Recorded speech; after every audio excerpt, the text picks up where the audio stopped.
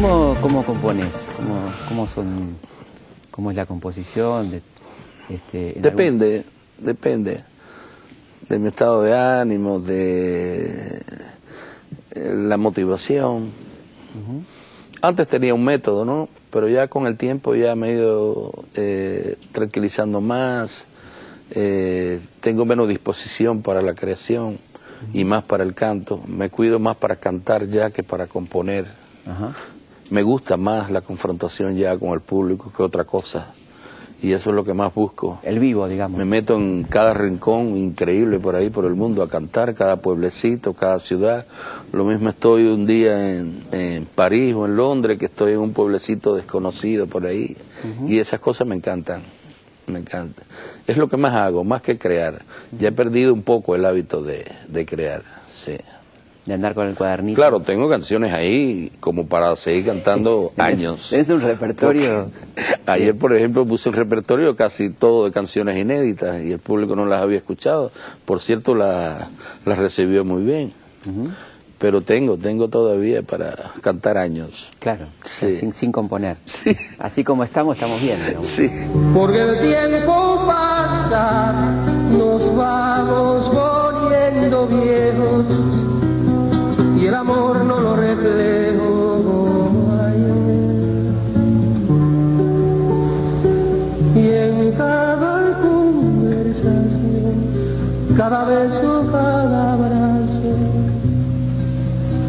se impone siempre un pedazo de razón. ¿Y hay alguna canción que, que, vos quieras particularmente de tu repertorio tan enorme? Hay cosas que canto con mucho amor, como ya ves, y yo sigo pensando en ti.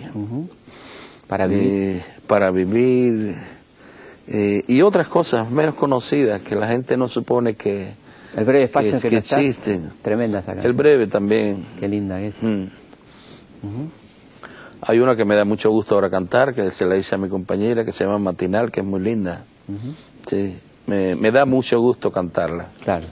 La disfruto. Y, eso se lo traslado al público y, gusta mucho la canción. Es nueva, novísima. Reciente. ¿Y sentís diferencias este, de los públicos? O sea, ¿hay un público distinto en Buenos Aires? Que... En absoluto, en absoluto. Por lo menos basado en mi experiencia. Te digo que todos los públicos son iguales, tienen la ah, misma eh, sencillez, la misma sentido de captación de las ideas, de, de, las palabras. Se produce la misma magia de interconexión entre nosotros, todos, todos, todos, todos los públicos.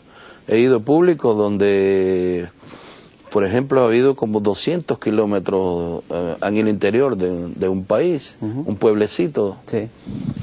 Y he sentido la misma reacción que en el Olimpia de París. Claro. Por ejemplo, ¿no? O en el Lincoln Center de Nueva York. Exactamente igual. Yo no sé cuándo me quieres, si me extrañas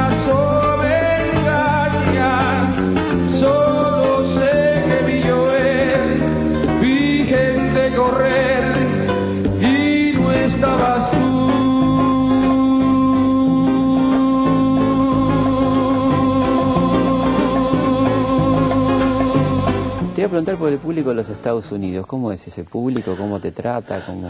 El público muy bien, un público mezclado, por supuesto. No es solamente norteamericano, es muy latino. En su mayoría son latinos. Y no solamente cubanos, sino gente de América Latina en general. Muchos mexicanos, eh, Centroamérica, Suramérica, que va a verme. Es una cultura que te interesa. Igual sucede en Europa. Cuando voy, por ejemplo, el año pasado estuvimos en Noruega y estuvimos en Suecia. Que hay muchos latinoamericanos. Y unas salas enormes, llenísimas, pero lleno de público latinoamericano. ¿no? Claro, todos los exiliados y, y, demás, ¿no? Sí. ¿Te interesa la, la, música norteamericana actual? ¿Te gusta? Sí, como no. Yo soy, he sido siempre amante, desde que me hice profesional de la música, he sido muy seguidor de del jazz. y por otro lado la música barroca. Son los dos géneros que a mí me vuelven loco. Y siempre estoy escuchando jazz, trato de estar al día en todo lo que sucede. ¿Y hay este, buena música clásica en Cuba? ¿Se escucha? Se toca, sí, como Mucha, no. ¿no? Es que hay unas escuelas muy buenas. musicales. Hay unas escuelas muy buenas. Sí, sí, sí, sí. Hay unas escuelas a nivel provincial, nacional, y después hay escuelas superiores de, de música a un nivel extraordinario y se forma mucha gente buena allí. Músicos hay buenos en Cuba, Sí, duda. muchísimos, y no se cansan de salir. y del jazz. es una ¿quién- fuente inagotable. sí. del jazz, ¿quiénes son Se tus- toca mucho jazz en Pero Cuba. tus, tus, tus así admirados eh, del jazz clásico norteamericano. Bueno, el jazz clásico, imagínate tú, que Jarre, Chick Corea, pero fundamentalmente el- he seguido mucho el trabajo de Kay Jarre, Winton Marsali, que por cierto es amigo mío, nos conocemos. Y, en fin, no tengo mm, un intérprete determinado, sino que me gusta oír jazz en, en, en general. Por un buen ejecutante y, y hay muchos, hay millones. Déjame demostrar que 10 noviembres purifican el alma y el deseo que al abrazarte aún mi cuerpo tiemble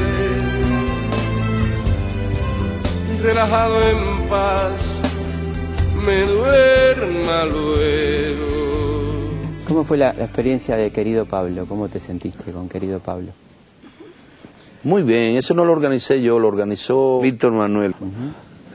Víctor Manuel lo, lo organizó, fue una idea de él, me llamó a La Habana y me dijo, Pablo, ¿qué te parece esta idea? Digo, bueno, me parece excelente, pero si tú lo organizas, porque yo no tengo vergüenza para organizar un homenaje a mí mismo. Claro. Y entonces, no, no, yo te lo digo porque sé que va a funcionar, pero quería consultártelo, yo lo organizo todo. Digo, bueno, perfecto. Y enseguida, a los tres días me avisó, dice, mira, ya están de acuerdo ya 20 cantantes en cantar contigo y hacerte un homenaje de lo más lindo. Y la verdad que fue precioso. Él lo organizó todo, él fue el productor, buscó las reglistas y organizó las distintas grabaciones en distintos países y todo fue muy lindo. Fue una experiencia preciosa. Lujos, ¿no? Mucho lujo. Sí. Darte mucho lujo. Y, y el poema de, de Julio, de Julio Cortázar, ¿no? De Julio Cortázar. Yo tengo un hermano Sí. Que, que empalma perfecto Sí. ahí con la. Con la Conocí a. Julio. Fuimos amigos. Julio, igual que yo, le gustaba mucho la canción. mm, este. Ya ves, yo sigo pensando en ti. Y le gustó tanto que hubo que mandársela acá a París Ajá. A los dos días de haberla conocido y se volvió loco. Inclusive hice un poema después con esa canción. Y cada vez que iba a Cuba eh, nos veíamos. Qué linda Él me hablaba a mí de, de música y yo le hablaba de sus cuentos, de, de aquel cuento El Perseguidor que a mí me arrebató durante un tiempo porque hice un cuento basado en Charlie Parker. en Charlie Parker, que fue una maravilla. Sí, Qué lindo esto que te da la profesión, ¿no? De conocer gente que admiras. sí, sí, sí, Eso es, sí. eso es realmente, realmente lindo, ¿no? Bueno, lo que me pasa a mí en este momento, así que te, agra- te agradezco muchísimo, sé que no Bueno. bien y que te hayas venido hasta acá. Muchísimas gracias a ti. Muchísimas gracias. Muchas gracias.